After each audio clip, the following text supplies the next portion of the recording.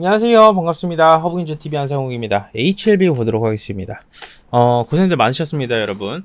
HLB 오늘 같은 경우에는 어떤 흐름을 보여줬는지 한번 좀 체크를 쭉 해드릴 수 있도록 하겠습니다. 자, 보시죠.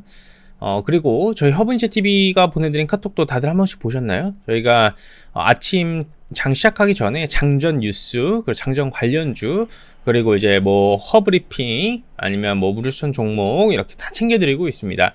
아직까지 카카오톡 채널 추가 안 하셨으면 카카오톡 들어가셔가지고 허브 경제 TV라고 치시면 저희 채널에 오실 수 있습니다. 많은 사랑 부탁드리겠습니다.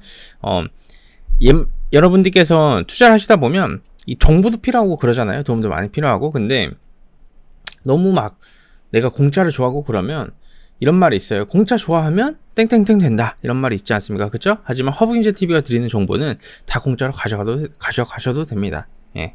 어차피 저희는, 어, 잘 퍼주니까요. 네. 자, 그러면 HLB 보도록 하겠습니다. 어, 지금 지속적으로 외국인들의 매수가 들어와주고 있는데 이건 제가 쇼커버라고도 말씀드렸죠. 쇼커버도 있고 어느 정도 거머리 외국인 물량도 있고 그래요. 계단식 하락이 나와주고 있다라는 부분에 대한 키워드가 아직까지는 변함이 없어요. 지금 제가 코스닥 지수를 계속 보고 있는데 오늘 코스피는 엄청 센데 코스닥이 왜 죽는 줄 아세요, 여러분? 바이오가 안 올라갔어요. 바이오가 시장 한번 보실래요? 코스피가 상승했는데 여러분 370 종목 올라가고 아260 종목 올라가고 600 종목 떨어졌어요. 코스피가. 코스닥은 코스닥도 마찬가지예요. 370 종목 올라가고 1050 종목 빠졌어요. 예? 그만큼 시장 자체가 오늘 좋지 않았어요. 예, 오늘 굉장히 좋지 않았어요. 그러면서 바이오 쪽이 반응 안, 해주, 안 해주다 보니까 일부 실적 관련된 기업군들 제외하고는 HLB도 못 올라가준 거예요. 아주 간단 명료합니다. 왜? 지금 실적 시즌이니까 여러분.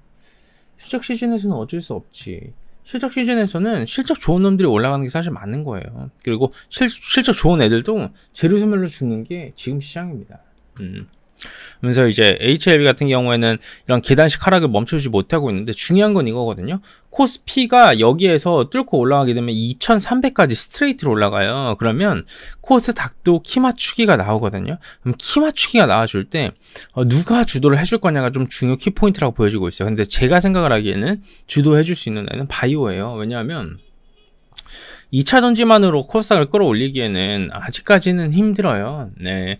에코프로비엠 뭐 LNF 있지만 그런 기업군들만 올리기에는 너무 상승폭을 강하게 줘야 돼요. 앞구간에 매물대가 많은데 그렇게 상승폭을 줘야 되는 줘야지만 지수가 올라가주는 거잖아요. 그렇죠? 근데 이제 HLB를 딱 봤었을 때 제가 또 어떤 말씀 추가로 드리고 싶냐면 HLB는 한 5% 올리면 5% 올리면 코스닥 지수 제대로 끌어올릴 수 있습니다. 왜냐하면 HLB가 올라가면 셀트리온 헬스케어도 올라가고 셀트리온 헬스케어가 올라가면 바이오 기업분들 어, 단발사 슈팅 다 나와주니까 그러면서 HLB가 누누이 말씀드린 41,200원을 돌파하고 안착해주는 모습을 보여줄 거냐 주, 중요 main point라고 저는 생각을 해요. 왜냐하면 이 41,200원을 돌파를 못 해주고 여기를 터치해주고 죽을 가능성도 열어두셔야 되거든요. 그거는 이 이런 어, 전환점이라고 보기에는 어렵고 그냥 매물대 딱 붙여두고 죽느냐 사느냐 그런 결정타를 보여줄 수 있을 만한 시점이 올 거예요. 그러면 그때는 이제 수급 상황을 보고 우리가 대응을 해야 되겠죠. 뭐 그런 부분 제가 다 또 체크를 해드리고 있으니까 우리 주주분들께서도 편안, 편안하게 보시면 될 것 같고요. 지금 딱 그런 시점이었을 것 같아요. 그래서 어, 여러분들 한 번 옵니다. 한 번 오는데 이게 전환일지 아닐지는 봐야 돼요. 그래서 지금 상황에서 뭐가 어차피 무조건 올라간다느니 만, 만다느니 뭐 그런 말을 하는 것 자체가 여러분들 행복해로 돌려드리는 거고 여러분들 그냥 뭐 여러분들한테 거짓말 치는 거죠. 거짓말 치는 거는 저는 사기라고 생각을 합니다. 사기 치는 거죠. 근데 그거는 말도 안 되는 행동이라 그럴 그럴 제가 이유와 근거 제가 없잖아요. 제가 뭐가 아쉬워서 여러분들한테 뭐 이거 무조건 올라간다 그러고 무조건 그런다라고 해요. 음? 뭐 행복회로 돌리고 싶으면 행복회로 돌려주는 사람들 많잖아요. 그 사람들 가서 보면 되는 거지. 근데 그게 굉장히 객관적인 분석이냐 이거예요. 아니지. 그리고 기업 분석한다고 HLB 올라갑니까? 기업 분석해서 올라갑니까? 여러분 안 올라가잖아요. 우리 이제는 이제는 알잖아요. 제 영상 하루 이틀 보신 분들 없으실 텐데 여러분들도 아시잖아요. 그렇게 아무리 내가 행복해로 돌리고 아무리 뭐 기업 분석해도 그 정석대로 안 간다라는 것을 결국 어, 외국인들의 의지가 있어야지 올라간다라는 것을 다들 잘 아실 겁니다. 지금으로 봤을 때는 단순하게 외국인들 차익 실현만 좀 해나가고 있다라고 보시면 될 것 같아요. 그렇기 때문에 어, 공매도 세력들이 차익 실현을 하고 있다라고 보시면 될 것 같습니다. 그렇기 때문에 그 정도까지 체크포인트 봐주시면 될 것 같고요. 시장은 안정화 구간에 어차피 들어갈 수밖에 없습니다. 그러면 그 상황에 어떻게 대응을 해나 가야 될지 그런 부분 제가 다 잡아드릴 테니까 많은 사랑 부탁드리도록 하고요.